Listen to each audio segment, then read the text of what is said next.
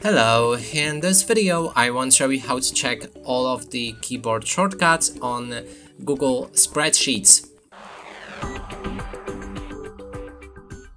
To do this, first we'll need to click on the help right here, navigate to the keyboard shortcuts.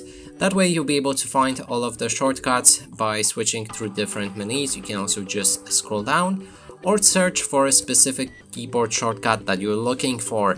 And that's it for this video, hope you like it, please consider subscribing to our channel, leave a like and a comment below.